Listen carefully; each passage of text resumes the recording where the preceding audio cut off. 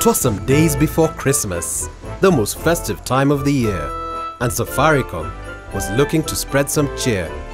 I'm Safaricom Santa. I am Safaricom Santa today. I'm the Safaricom Santa for today. I'm the Safaricom Santa. In the spirit of giving, connecting and sharing, we came together and got strangers caring and pairing. So we sent Safaricom Santa to give out some lovely treats. But to have a little fun, we had to be discreet. Catch me if you can. Now you see me, now you don't.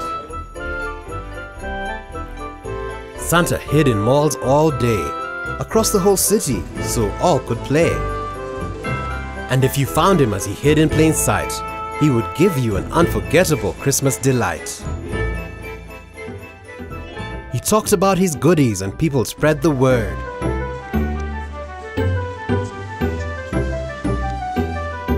Presents were up for grabs if you were the early bird. I have asked more than, uh, more than 15 people. Kenyans came in eagerly with twinkling in their eyes. Would they walk off with Safaricom Santa's surprise? They walked through all the halls in search of a friendly stranger.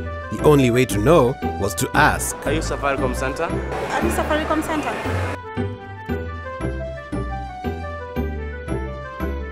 Nashukua kwa hapa karibu na nyinyi. Since Santa was known, you had to ask around.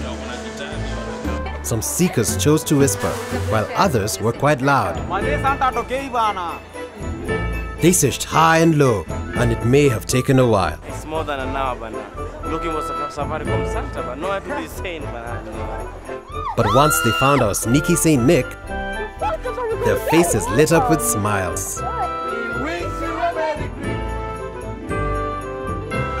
Santa's bag was full of presents. It was a gifting spree. From airtime to clothes to Samsung Galaxy S3s.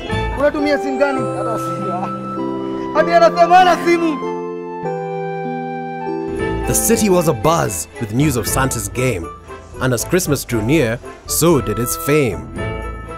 But what really stole our hearts and put a star on the tree was welcoming a new friend to the Safaricom family. Safaricom Santa, left with a promise and a grin. May we once again make merry in a prosperous 2015.